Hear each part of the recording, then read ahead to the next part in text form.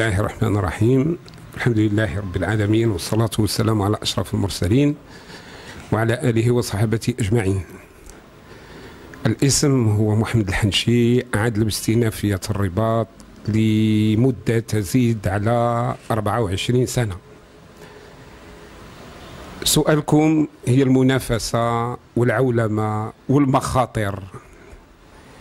فالمنافسة فهي المنافسة هي مطروحة لأننا نمارس مهنة مؤطرة بالقانون. آه كثير من المواطنين ما فاهمينش شنو هي المهنة ديال التوثيق العدلي. وكيظنوا بأن المهنة ديال التوثيق العدلي هي مقصورة أو مقتصرة على الزواج والطلاق واللفيف سواء الإيراتات والتركات بل بالعكس. بل هي مهنة لتوثيق البيوعات المحفظة والغير المحفظة والشركات وكل ما يهم التوثيق. أما بخصوص القضية ديال المخاطر نعم هناك مخاطر مع المواطنين ومع النيابة العامة ومع يعني هذه المهنة محفوفة بالمخاطر لأنها كثرت الشكايات وكثرت يعني التدليسات وكثرت هناك بعض المنزلقات اللي تيحاولوا السادة العدول باش ما ينزلقوش فيها باش يخرجوا الوثيقة سليمة. وثيقة يعني كتمكن الناس من الحقوق ديالهم سواء كانت آه الحقوق محفظة أو غير محفظة أو في الأحوال الشخصية أو غير ذلك.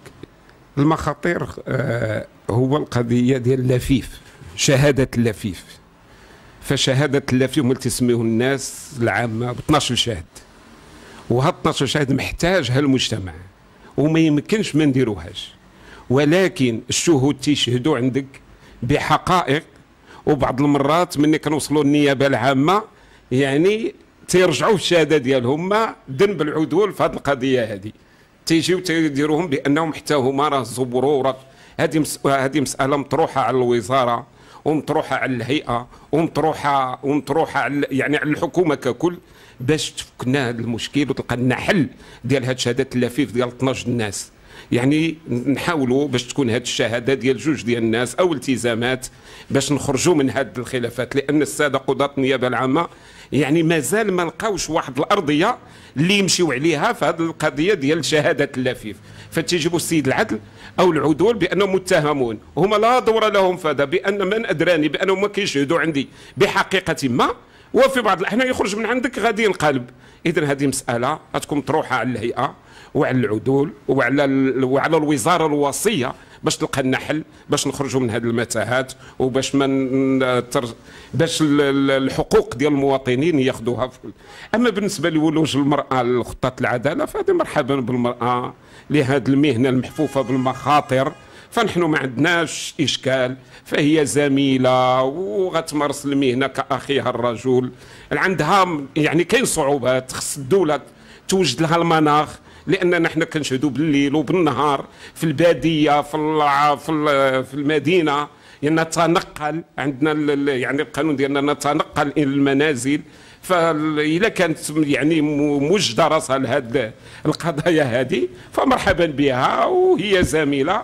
ورسول الله صلى الله عليه وسلم تيقول النساء شقائق الرجال في الأحكام. فهي وصلت لقاضيه وصلت لوزيرة وصلت لاستاذها ولربان الطائرة ولهذا. فمرحبا بها. لكي يعني هذه المهنة ما تبقاش محصورة على الرجال وتكون لها واحد الذوق خاص تولي عندها ذوق خاص عند عند الناس باش يجيو لها ويقبلوا عليها. هي آه كانت منفتحه منذ يعني القانون ديال 603 اللي وجدها وهي منفتحة على الإعلام. ونريد الإعلام هو يجي لعندنا. لأننا نحن نمارس في مهنة يعني مؤطرة بالقانون. ولكن نحن نريد هذا الإعلام يكون معنا باش نقولوا للمقاولين راه حتى حنا تنكتبوا في العنقر المحفظ تنكتبوا في الشركات تنكتبوا في هذا. ولكن هذا الشيء هذا كله ما غيمكنش يكون إلا أن تعطينا الوزارة القضية ديال صندوق الإيداع لأنه باش الناس يجيو لعندنا المقاولين ورؤساء الأموال باش يجيو يعني هما تيجيو عندنا ماشي ما عندناش كل واحد والكفاءة ديالو والزبائن ديالو المكتب ديالو.